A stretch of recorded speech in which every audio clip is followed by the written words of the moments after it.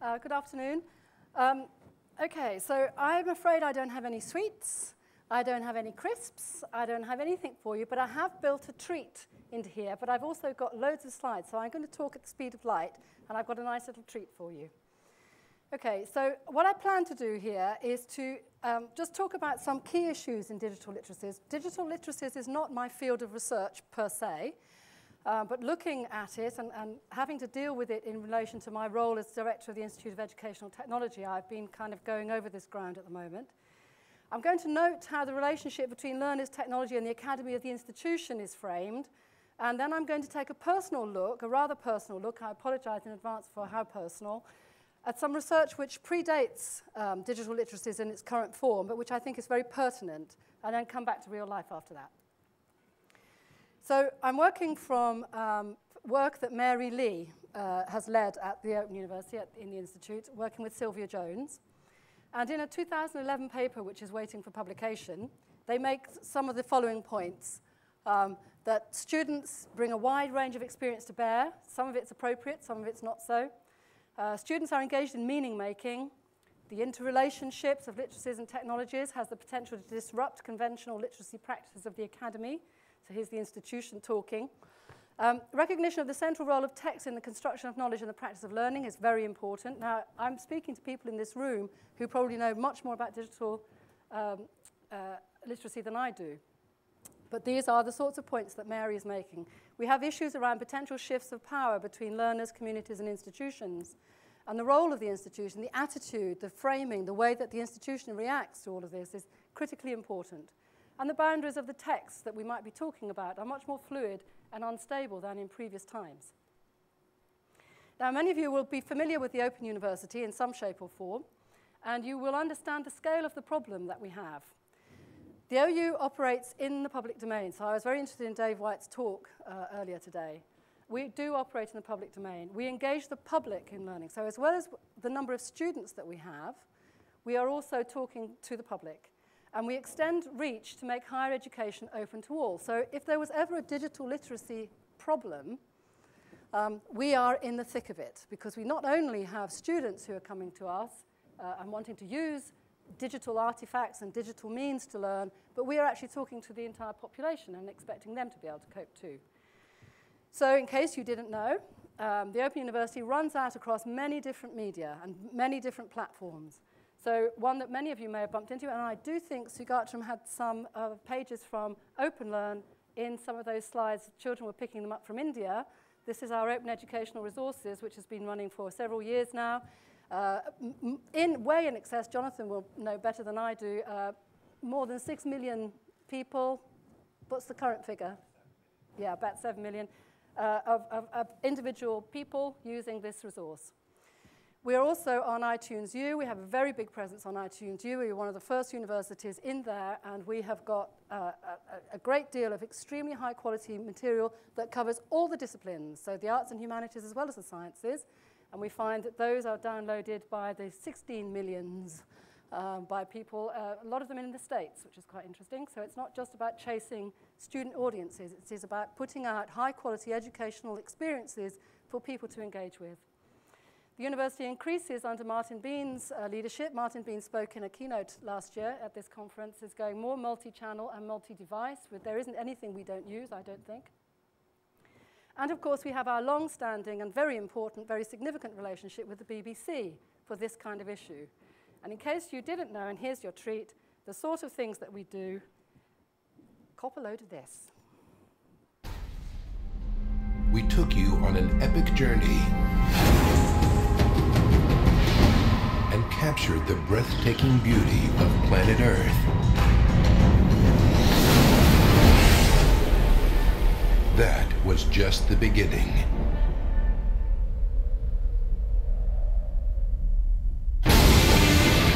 Now, Discovery presents the next groundbreaking television event. A spectacular look at nature's extreme behaviors.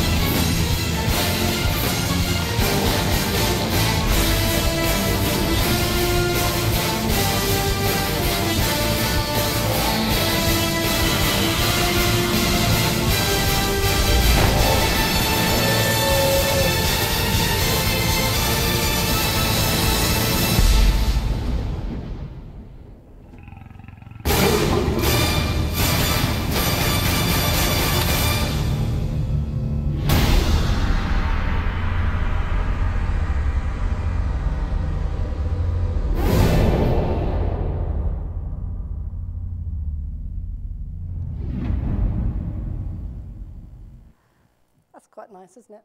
Uh, that was a collaboration between the BBC and the OU to celebrate Darwin's uh, uh, centenary, bicentenary.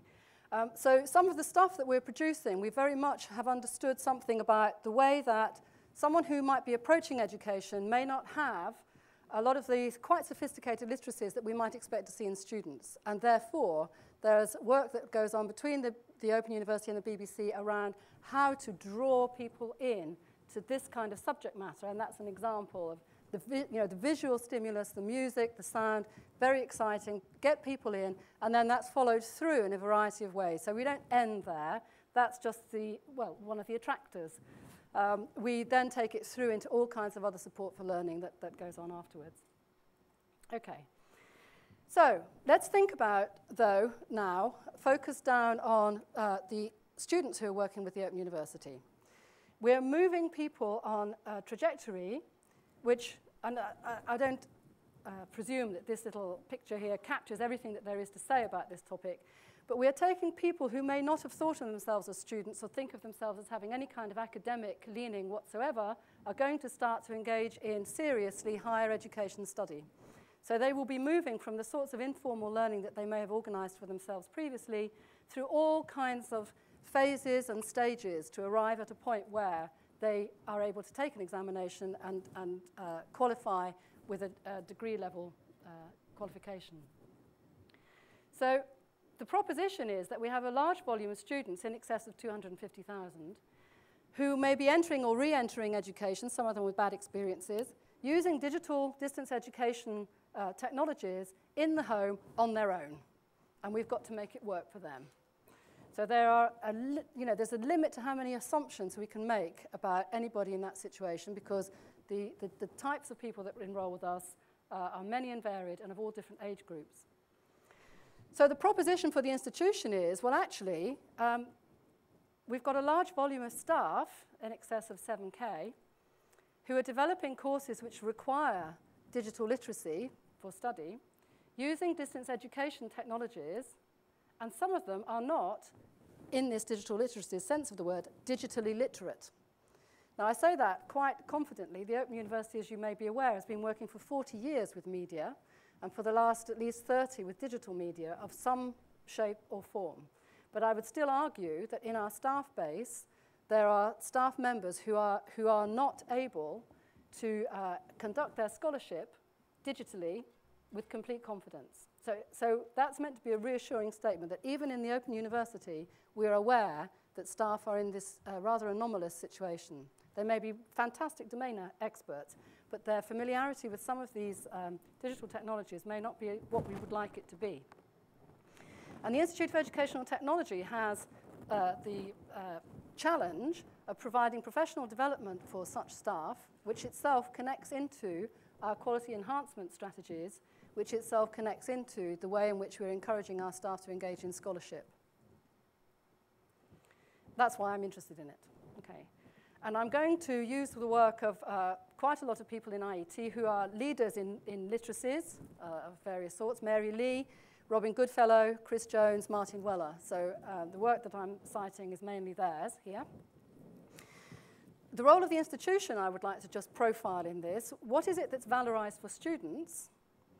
And Mary Lea's work tells us that students still rely on the authority of the institution when it comes to accessing and utilizing resources for their assessed work. I thought it was really interesting in the previous talk, where as soon as we start to talk about assessed work, we saw in the older populations that Sugatan was talking about a slight anxiety around assessed pieces because of the problem that someone else might claim that they did more than they did, or that your credit might disappear from you. And from my point of view, what is it that's valorized for staff?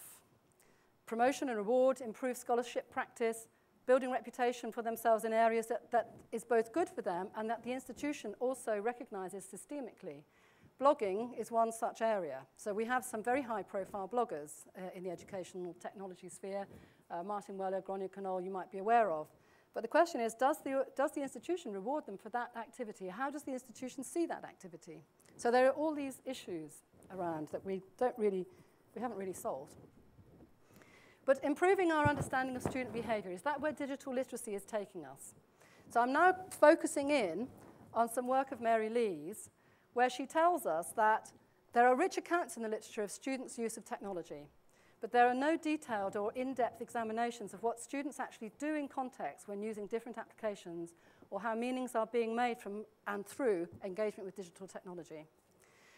That statement I agree with to a point. I agree that currently I'm not able to find the sorts of studies that I used to be able to find with detailed analysis of what students are doing, what are the activities that they're engaging in.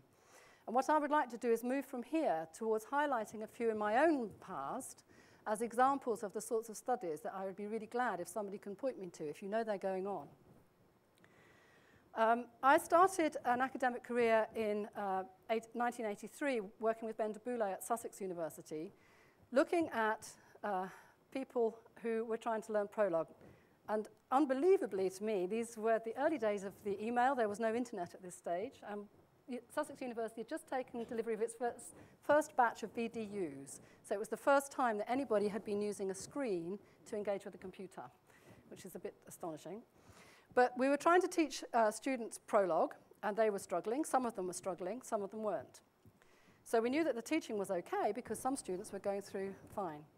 And we undertook close observational study uh, of students writing and understanding Prolog programs. And what we discovered in that process was that students were telling themselves stories. When I was doing the studies saying, what's happening? What are you doing? Why have you written this? Why is the, why is the computer behaving like that? They were generating little narratives in which they were trying to establish for them and for me little causal links. Oh, this does this because of that over there, and then it comes back here, that sort of thing. These students were uh, on a, an MSc conversion course, so we had a rich diversity of backgrounds, some coming from the sciences, some coming from the arts, and a mixed age range. And the place that we went to to help to explain what was happening was Peirce's notion of abduction, which you may have come across before. Uh, it's been used in other um, studies, where this is the basic proposition. The surprising fact C is observed, and if A were true, C would be a matter of course. Hence, there is reason to suspect that A is true. So it's like modus ponens, A if then B, A therefore B, but it's wrong. It's actually, this is not a logical, not a correct logical form, okay? So we're reasoning from the consequent to the antecedent. There could be other explanations as to why that's present. It doesn't follow logically. But what Peirce was identifying was that this form of reasoning is extremely common. And it has much uh, in common with the sorts of studies that Wason and Johnson Laird were doing um, in uh, logico-deductive reasoning. And in fact, I went into that literature and found quite a substantial mapping between the sorts of behavior we were seeing in students learning Prolog and what people were doing when they were trying to do logico-deductive reasoning. So what, what was happening was students were constructing these stories. And the problem was that when they were right, they made a huge leap forward. They suddenly got something. But when they were wrong, they had no kind of understanding to reach into. They had nowhere to go, and they kind of went down a big hole, and that's what we were looking at. So what we got from this, previous background matters. What you put into the reasoning process, even if your reasoning process is a bit faulty, uh, what you put in is critical. If you put the wrong things in, it's going to go even wronger. So the people who had got an understanding of something to do with closed worlds and logical systems, so people who'd done some maths, perhaps some logic or some science, found that they were, found it easier to understand what was going on. People who were coming from areas which might have been equally analytic, and I kind of take issue with the fact that, with the statement that the arts and humanities have nothing to offer in the job market, um, but discourses that were equally analytic but did not operate inside closed worlds, people were bringing things to bear that, that didn't, didn't work in the Prolog domain. So that was what was causing them problems. Okay, so some of those things I think relate to digital literacies. They are to do with what it is you've done before and the way in which you're approaching the task in hand. Moving now to another study, MENO, which again some of you might remember, Multimedia Education and Narrative Organization, ESRC funded, Diana Laurillard, who's in the audience, so she'll pick me up if I've got it wrong. Uh, Lydia Plowman, Rose Luckin, Matthew Stratfold. Again, close observational study of learners using multimedia to learn about Darwinian theory through um, Galapagos, and Risa, Paz is in the audience, who helped us with that. Um, examining here the impact of different interfaces on the same material as they're learning. And in this case, we were looking at young students who are A-level first-year undergraduates. And to explain what we were seeing here, Lydia in particular was very knowledgeable about narrative and narrative theory. And we made reference to Bruner. And what Bruner was saying uh, was that narrative for him was defined as a connected sequence of events. This is the sort of thing our students were trying to build. The representation of those events, and, and it's a mode of thought, a primary act of mind transferred to art from life, is a quote from Bruner. And I have found it impossible to distinguish sharply what is a narrative mode of thought and what is a narrative text or discourse. So again, the relationship with um, uh, digital literacies, I think, is beginning to kind of emerge. So within Meno, we defined narrative as a process of both discerning and imposing structured meanings which can be shared and articulated.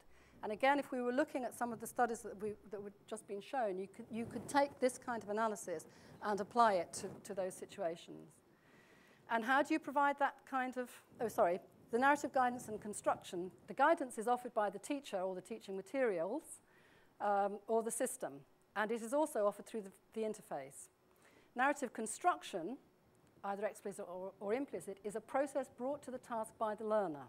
So again, I very much uh, go with the proposition that you can you make the environment available and amenable, and then it's up to the learners to come in and, and construct. Uh, another context is another word is context that's relevant here, but it needs to be carefully scaffolded. And Diana had this wonderful uh, representation of what did it mean to scaffold. Now, I'm not going to go into detail here because I'm not taking you into the detailed findings of these studies. I'm just citing them as examples of the sorts of in-depth work that was trying to not just identify the fact that students were engaging with screens, with material, uh, with stuff that was on a computer, they were working in groups, but, but what were they doing and what were they thinking and in what ways can we theorize uh, that activity? So we took the Galapagos application, which was one of the first CD-ROMs that we built at the Open University. We had three different interfaces. One was linear, one was resource-based, and one was guided discovery over the same basic resources. So what varied was the degree of narrative structure that was provided in each of the interfaces. So in the first one, you were kind of led through in a bit of that BBC-like way, you know, let's all look at this, and then we'll move to the next thing, and we'll look at something else, and then we'll look at something else. So you couldn't get lost. The narrative thrust was very strong. In resource-based, you just got all the resources, you were given the question, left to get on with it. And in guided discovery was a, a sort of a mix. It offers some guidance in, in taking the task, in breaking it down, offering you menus, offering you choices, so a bit more interaction from the interface to support your activity. So they kind of look like this. So this is the linear straight through and out the other end, and you might go back and forth a bit, but that's still in this very linear fashion. Resource-based learning, you just go from your starting point and out to any of the resources. But the guided discovery was actually semi-structured. There were things that we knew as teachers we wanted you to do, and we kind of made sure that you got to all the places you need to, to get to answer the question. And what we found was that for resource-based learning, even very skilled learners answered the question, but they didn't actually look at all the resources that they should have done. So that we know that their answer to the question was not as good or as complete as those people who were going through the guided discovery. And I just want to quote here uh, some of the things that Lydia was saying at the time. So this is 1996. Um, her comment was that MILES, these mul uh, multimedia learning environments, require a new form of literacy which learners don't yet have, and that they perturb and distort the sense of meaning making that learners bring with them, leading to fragmented and unsatisfactory learning experiences if we don't support them, if we don't help them. That rings as true now as it did then, I think. So the conclusions from that study, less experienced learners benefit from explicit narrative support. So if you've got people who are only beginning, you do need to support their narrative construction.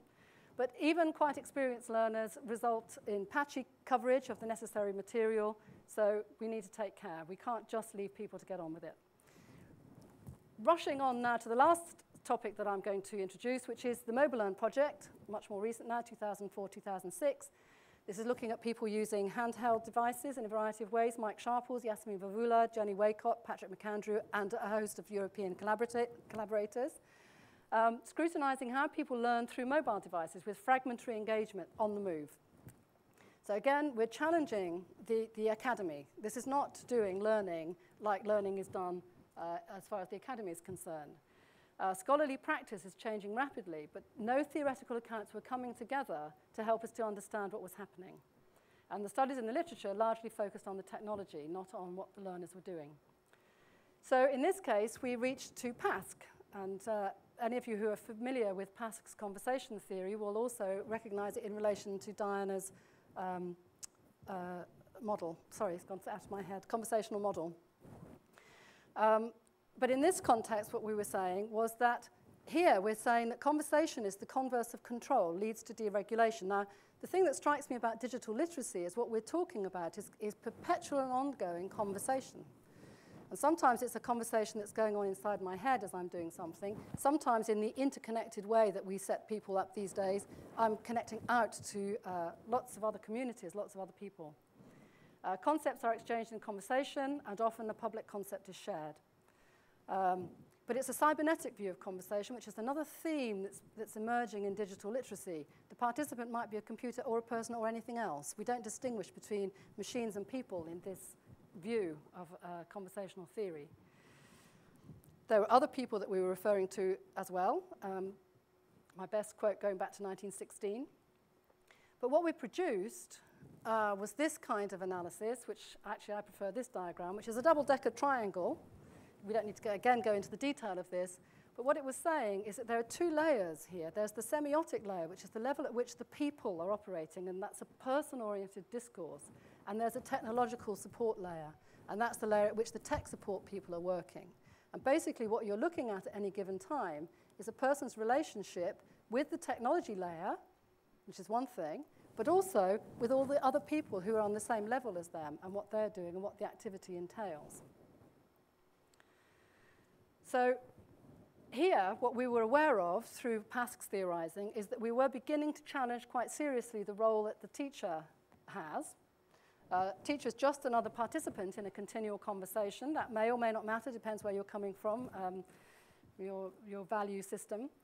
Um, but the key thing is that um, traditional education needs to be explored into, in relation to the new world of global knowledge and mobile technology, and it's not sufficient to assert that authoritative knowledge is always located in the specialist professions and disciplines. So, okay, so here I go completely megalomaniac. I'm suggesting that there are continual dynamics between semiotic and technological levels in any of the situations that any of us as learning technologists might seek to analyze. That there is continual co-evolution of technology and human learning. We're seeing that speeding up rapidly now. So trying to hang on to the technology is a mistake, in my opinion even though I'm professor of learning technology, and that's why I put it on the front of the slide, I'm actually interested in people, not technology. Uh, the creation of meaning lies in the exchange between participants in the conversation, whether that's they're humans or technology, within a distributed context.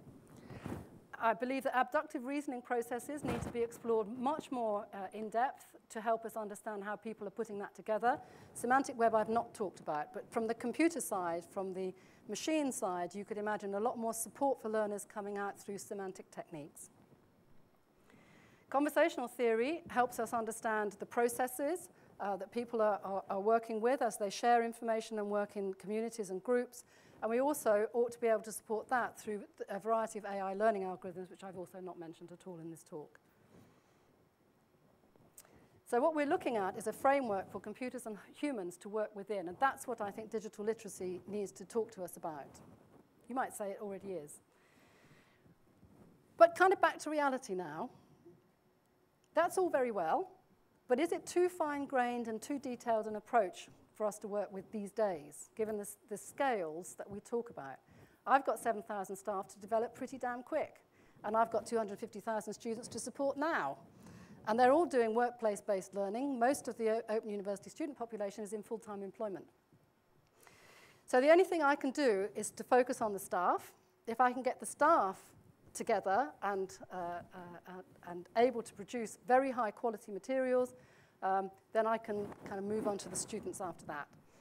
Um, so the only assumption I can make is that the, although the staff may not be very sophisticated digitally, they are relatively, in comparison with the students that they might be trying to teach, relatively, relatively sophisticated learners. And the priority then becomes enabling the environment and the context to allow them to develop in peer-supported communities. And that's the role, I believe, of the institution in this whole business. So I have to, that's what I have to do. But the agenda for research in this area, I believe, is that uh, previous in-depth studies of learners and what they do are relevant, and we should go back to them. Not, not just these ones, but ones that all of us will have that we know about. And those studies need to be factored into our thinking methods so that we are actually building a knowledge base. I have a great anxiety that, that, that we, we kind of scatter our knowledge. We, we, we have important studies that take place, and we don't consolidate enough. And in the UK, I think we could, we could really do that. Uh, context is a dynamic process, and it is as much constructed by the learner in real time as it is a given in the learning situation.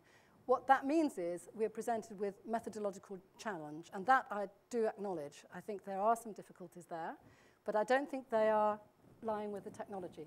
I think it's because people will be moving in a way that will be potentially quite difficult to track, though Dyer and I had a lunchtime conversation and we decided that perhaps it's not that difficult really.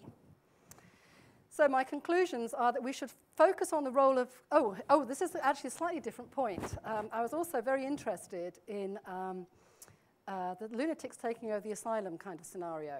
Uh, institutions sometimes worry about uh, letting go control, about letting students uh, go off. You know, we, in the previous study, the teacher leaving the room is not something that we're awfully keen on. But actually, uh, in other spheres, we do talk about the role of critique in academe, in the academy, and in digital literacy, literacy practice. But the other thing that we need to bear in mind about that is if everybody is as connected as they are, there will be consequences. Because once that critique turns uh, on what I'm doing now, what my university tells me to do now, uh, the critique could be quite strong. But institutions need to take that on board as they have always done. They've always had difficult academics who stand up and say things that they, the institution might prefer they didn't do. Um, at the moment, we are equipping students to do a similar thing. Uh, but we need to be able to reflect that role of critique in assessment processes, which we currently don't very effectively, to reflect on the emancipation of students that we're engaged in, and to understand how to react or not in the institutional nightmare of lunatics taking over the asylum, i.e. the shift of power that is likely to happen in that case. Sorry, it was a bit gabbled, wasn't it?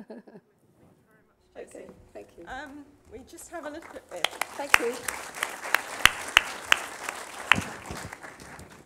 We have a little time for questions, so uh, have a hand up over there, and the microphone is uh, coming over to you.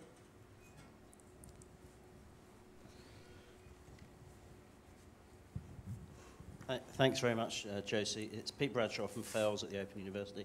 Um, one thing that you, you said, and it may have been a, a, a passing remark, but something you said I just wanted to um, to ask you about. You said about um, developing staff at the university and um, enabling them to produce, continue to produce high quality materials. And, and what, you, what you see, what does that mean in this digital literacy age? And, and, and if we've got that shift of power, what does it mean? Because you know, we, we, we do produce high quality materials, but what does that mean going forward? Well, that's, that's kind of what I'm trying to sort out by um, by approaching the di digital literacies agenda, okay? Because uh, the philosophy of, I'm trying to put this in the most uh, unproblematic uh, terms, uh, we, like any other organization, uh, are concerned that we present students with uh, a range of options for work that they might do and bearing in mind that in the OU case, this is you sitting in your sitting room, so you don't have like people to go and ask, and you don't have peers to say, what did you do, and have you got one of those, and I've left mine behind. So, so we're trying to make sure that in a person's sitting room, they've got everything that they need to know how to tackle uh, what they've been given. So I believe we have always produced very high quality materials in the OU. A lot of those, though, and in different disciplines it does vary, are, are paper-based, really text-based in that sense, text-based. And quite a lot of those disciplines, when they've moved onto the digital media, have moved those texts onto computers. Now, again, I think the OU does very well in this respect. We have, never, we have always argued that one medium doesn't duplicate another. And if you find yourself doing that, then um, something's gone wrong, okay? So we're not keen to just take printed text and dump it onto a computer. It's always gone through a transformational process. The question is, how well are we doing on that front? And now that we've got all sorts of other media which potentially can carry uh, that material, in what way are we factoring those into the learning situation? In such a way that students feel enabled, not crushed beneath the weight of 101 different things that they're expected to do that they don't really know how to do. So it's finding the ways of producing the materials that support the developments of literacy is viewed as skills, so that's one element of it, but the other elements are to do with the way in which we are treating the nature of uh, academe. What does it mean to be a student? What does it mean to, to engage with us, uh, you know, as an undergraduate? Sorry, are we done? Thank you. Um, sorry. Sorry. need to get to the microphone.